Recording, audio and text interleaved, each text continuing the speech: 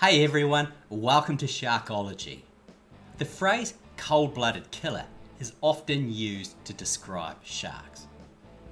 Today I'm going to ask, is that really a fair reflection of sharks? Not so much the killer aspect, but the cold-blooded aspect. Are all sharks cold-blooded? And if not, what are they? That's what we're going to discuss today on Sharkology.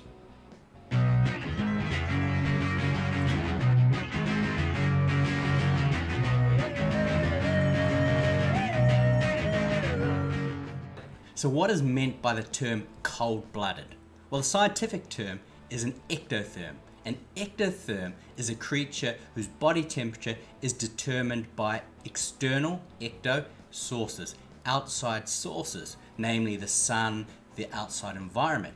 This is opposed to an endotherm, like us humans, where our body temperature is determined from internal sources. We generate our own body temperature mainly through metabolism.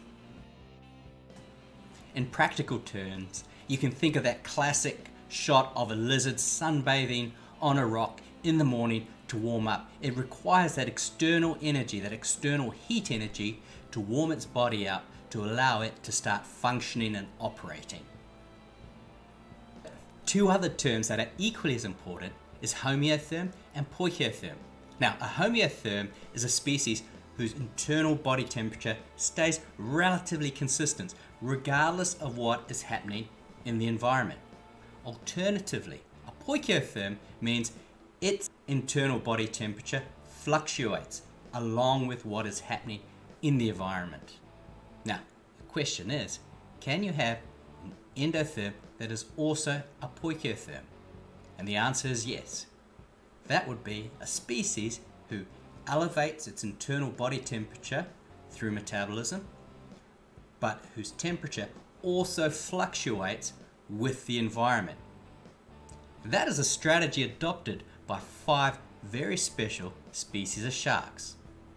This family of sharks is called the mackerel sharks, and it consists of the salmon shark, porbeagle shark, the two makos, the long fin and the short fin, and the famous great white shark. So why did these five sharks evolve this entirely unique system to elevate their body temperature when being cold-blooded seems perfectly fine for every other shark species on the planet? And the answer lies in the distribution of prey. These sharks wanted to exploit marine mammals and high energy game fish. And where that prey hangs out is in the cool temperate regions of the world's oceans. So these sharks had a strategy. They wanted to extend their range into these colder regions where this highly valuable prey resided. But one of the fundamental laws of nature is you don't bring a knife to a gunfight. And these sharks knew it. If they were going to be successful predators in cold waters, they had to have a way to maintain their speed, power, and competitive edge over this prey. And that is where endothermy entered the picture. And it did so in the form of the Rete mirabilia, or wonderful nets in English. This was a specialized blood system that allowed these sharks to retain the metabolic heat that they generated in their bodies and allowed them to then elevate their body temperature above that of the ambient environment. This wonderful net system worked in two parts. Firstly, you had the cold blood coming from the gills and the heart, as it left that area, it spread out into these capillaries, these very fine capillaries, and made a net. And on the other side, you had the warm blood coming from the shark's muscles.